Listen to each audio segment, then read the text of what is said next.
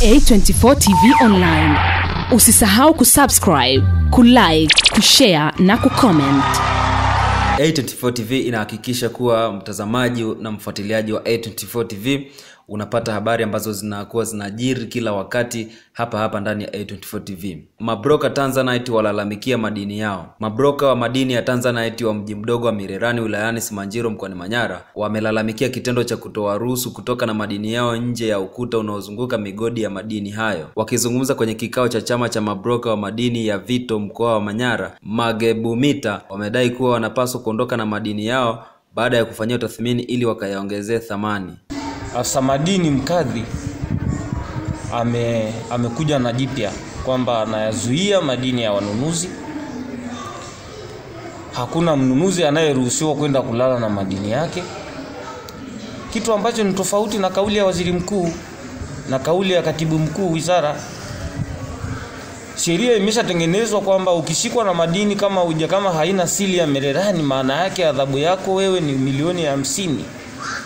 Sasa kikubwa ambacho yeye Raimo alipaswa kufanya ni kufanya kongamano na hawa wanunuzi wadogo ndani ya ukuta, kuendelea kuwajengea ujasiri na uwezo, waendelee kuwa waadilifu na waaminifu, ili wasimkosanishe yeye na serikali.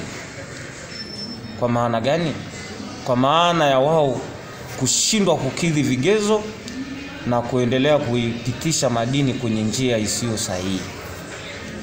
Hiyo ndio ilikuwa kazi ya Raimo baada ya kauli ya serikali kuu, lakini sio kuzuia madini ya mtu yanakuwepo pale stop center, kwa sababu unapozuia madini ya mnunuzi, mtu aendi kuuza, ina unaonyesha sasa kwamba umeistopisha uchumi wa, wa, wa, wa watu, lakini sio tu umestopisha uchumi wa watu, lakini pia unainyima serikali mapato yake.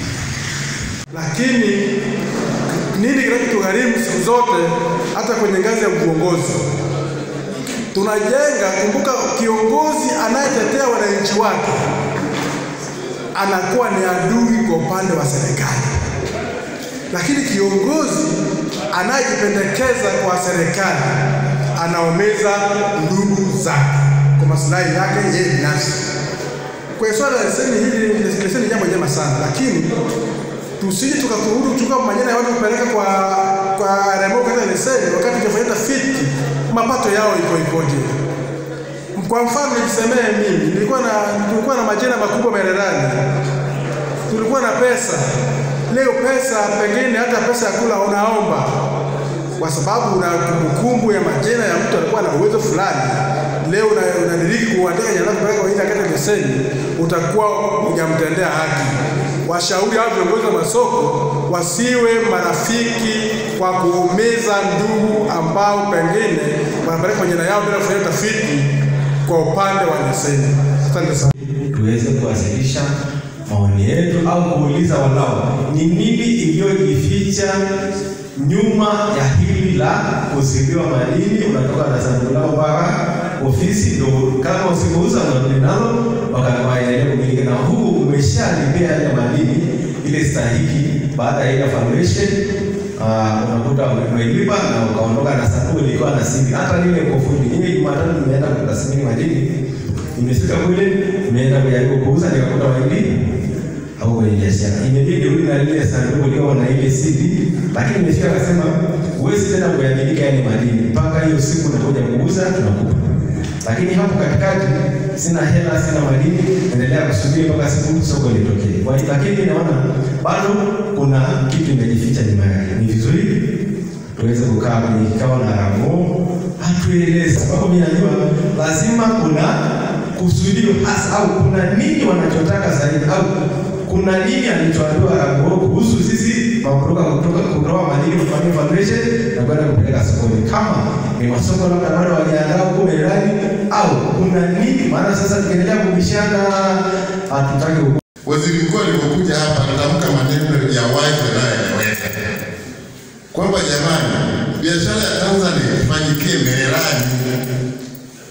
Lakini sasa baada ya waziri mkuu kutoka, imekuwa ni janga kubwa. Kila tume ya madini, sijui wizara, kila mtu anakuja na tamko lake. Sasa sisi- tupate vipi? kuna haja hata sisi pagoroka twende mahakamani, maana sisi tunafanya kazi kisheria, tunapata sheria za nchi, lakini sasa tunataka kupeleka kwa- matamko. Nasema kwa matamko kwa sababu gani? Sheria madini, mimi nimekata leseni, ninalipa kodi TRA kwa mwaka. TRA yangu, ina maana baada ya miezi mitatu atakuwa nipe kodi pale madini sasa hivi wafanyabiashara wanunuzi wamefukuzwa. Kanuni na taratibu zinasema kwamba madini Tanzanite chini ya gramu mbili za nje ya nchi, magongo isafirishwe chini ya nje ya nchi. Zile zaidi ya gramu mbili ya kati hapa hapa Merani. Je, leo wanawaambia wale watu madini yasisafirishwe?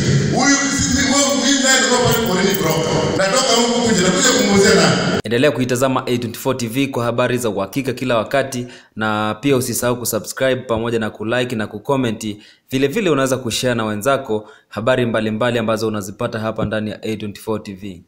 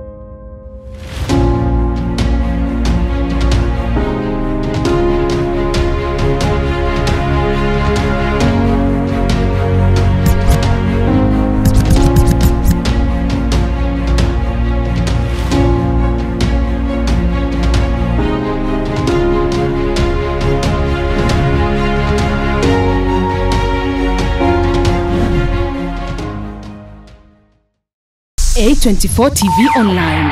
Usisahau kusubscribe, kulike, kushare na kucomment.